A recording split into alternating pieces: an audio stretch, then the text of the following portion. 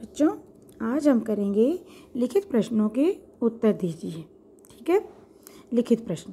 बच्चों, आपने पाठ को अच्छे से पढ़ा है और समझा है। अब मैं आपको प्रश्न बताऊँगी और आपको इसका सोचकर अच्छे से उत्तर देना है, ठीक है? और इन प्रश्नों को अच्छे से समझना है। प्रश्न एक, शौर्य के पापा ने रोबोट क्यों खरीदा? प्रश्न फिर से सुनेंगे, शौर्य के पापा ने रोबोट क्यों खरीदा? उत्तर शौर्य के पापा ने रोबोट घर के कार्यों, कार्य क्या होता है? काम। काम करने में, क्योंकि शौर्य को घर के काम करने पड़ते थे। शौर्य की मम्मी नहीं थी ना, वो भगवान को प्यारी हो गई थी, उनकी मृत्यु हो गई थी तो इसलिए क्या है? शौर्य को घर के काम करने पड़ते थे और शौर्य की सहायता के लिए खरीदा था। शौर्य के पापा ने रोबोट घर के कार्यों, घर के कामों और शौर्य की सहायता के लिए खरीदा था। अगला प्रश्न है, रोबोट का शरीर किसका बना होता है? रोबोट का शरीर किसका बना होता है? उत्तर, रोबोट का शरीर इस्पात का बना होता है। किससे बना होता है? इस्पात का। किसका? इस्पात का। रोबोट का शरीर इस्पात का बना होता है। प्रश्न गा, रोबोट मनुष्य के आदेशों का पालन कैसे करते हैं? रोबोट मनुष्य के आदेशों का पालन कैसे कर पाता है? उत्तर, रोबोट में मेमोरी सेल होते हैं, जो मस्तिष्क का काम करते हैं। रोबोट के अंदर मेमोरी सेल होते हैं, जो कि मस्तिष्क, यानी कि ब्रेन का काम करते हैं।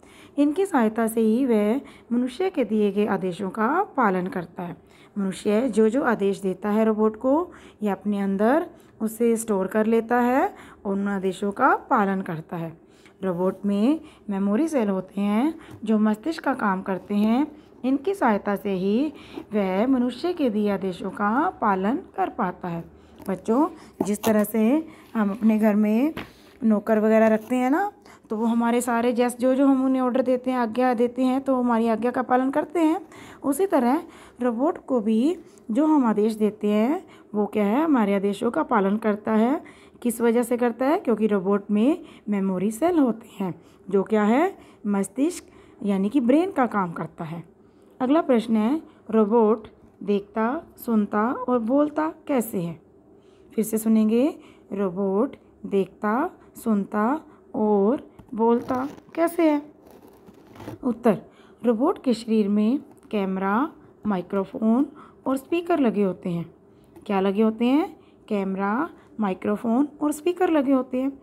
इन्हीं की सहायता से वह देखता, सुनता और बोलता है। रोबोट के शरीर में कैमरा, माइक्रोफोन और स्पीकर लगे होते हैं। इन्हीं की सहायता से वह देखता, सुनता और बोलता है। बच्चों आपको ये प्रश्न अच्छे से समझ आ गए होंगे।